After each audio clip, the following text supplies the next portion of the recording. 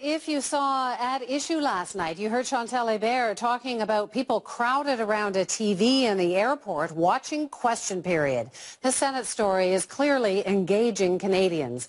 But what do they think of it all? Cameron MacIntosh has that part of the story. We set out to see how people are feeling, to get their gut reactions. So we gave them something to react to. A simple sign, an invitation. It sure didn't take long.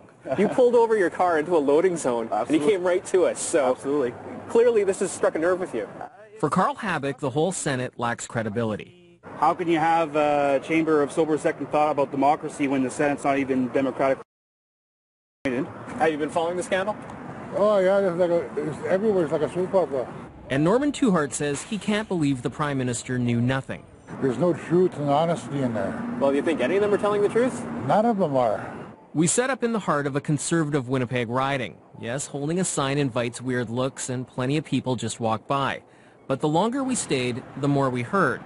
Plenty of anger, much of it directed at the Prime Minister. Lying to us isn't going to do anything good. Are you convinced he's lying? Well, I mean, if they're if they're offering backdoor deals to people to say one thing when something else actually happened, that is lying. The senators aren't getting off easy either. Duffy and Pamela Wallin, you know, you put your trust up to these people. You see them on TV 24-7 for your lifetime, and it turns out that they snipe all the Canadian people. Can't trust anybody, can you? I would like to see a Senate reform. Now, I wasn't the only one out doing this. We sent out reporters with signs in other cities too. In Vancouver, It has completely changed my opinion in the Senate. I don't think there should be a Senate anymore.